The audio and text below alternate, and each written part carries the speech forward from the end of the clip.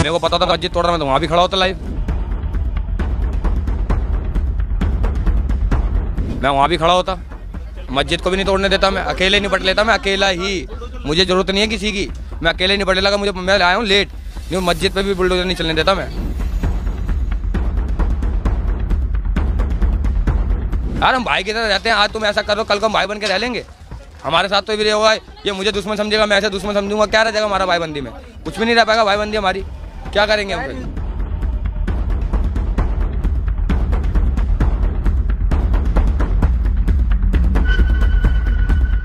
अरे दस साल से तो हम पंद्रह साल से तो हमारी दोस्ती है मैं हिंदू या मोमडन है।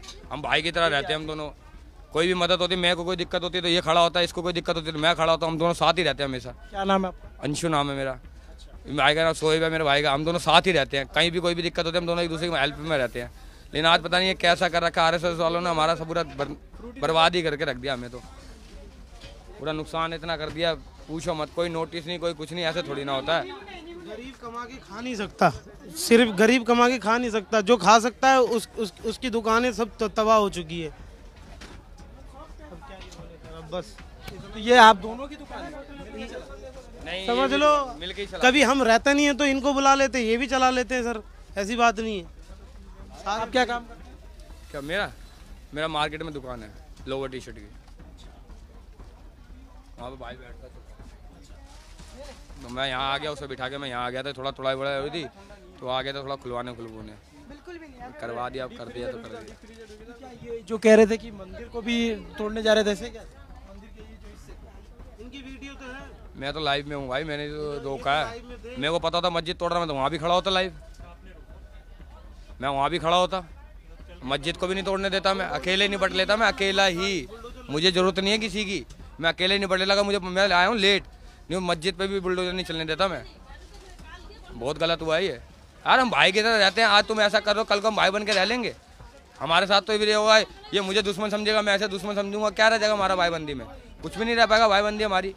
क्या करेंगे हम फिर? आज भाई की तरह रहते हैं, कोई भी बात होती है, खड़े होते हैं मेरे साथ। आंशु, चल रहे हैं। यहाँ चल रहे हैं वहाँ चल रहे हैं खा रहे हैं यहीं घर में खाना पीना होता है हमारा। यहीं सोते थे हम ऊपर कमरा हमारा ये रहा यहीं सोते थे हम दोनों भाई साथ में जब मम्मी पापा गाँव जाते थे इसके साथ रहते थे हमेशा। सारा ऐसा कर दिया है कि कुछ बोलने की हद ही नहीं है।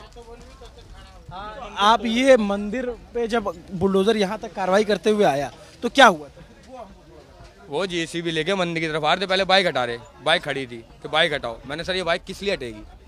कह रहे मंदिर टूटेगा। मैंने किस लिए टूटेगा? क्या वजह है? ये भी खड़ा था मेरा भाई मेरे साथ। अगले की मस्जिद टूटी है बुलडोज चला लेकिन अगला फिर भी मंदिर के लिए खड़ा है मेरे साथ। हम उस टाइम बाद में आए ना हम। हमारे पे कार्रवाई नहीं हो जाएगी। किसी को भी कुछ भी दे दे रहे हैं एन एस आर का के वो दे रहे हैं सीधा मुकदमा की बात होती है। सेकंड फिर जो है यहाँ पे आप लोगों ने रोका। इस पे कार्रवाई नहीं नहीं हमने रोका फिर इसे ये नहीं टूटेगा यहाँ से जाओ वापसी। तब ये चले गए वापस। ये चले गए वापसी फिर उसके बाद टूटा नहीं। और कुछ भी नहीं हुआ। चलो सही हुआ जितना भी बचा है जेसीबी को बस उतना बच गया बहुत है। किसी के पास बच गया किसी हिंदू धर्म क्या जो टूटने से बच गया इतना ही बहुत है जो टूट गया सुनते हैं हम सुबह उठ के आरती भी सुनते हैं। हम दोनों सुनते हैं। कभी भी कोई ऐसी दिक्कत आती है कि किसी हिंदू के बच्चे को के किसी ऊपरी साया है क्या है वो सबसे पहले मस्जिद जाता है मौलाना जी के बाद झाड़ा लगवाने। क्यों? अजान की आवाज़ सुनाई जाती है जिससे कि उसे आराम मिलता है। और जब किसी को कुछ होता है तो यहाँ आते हैं।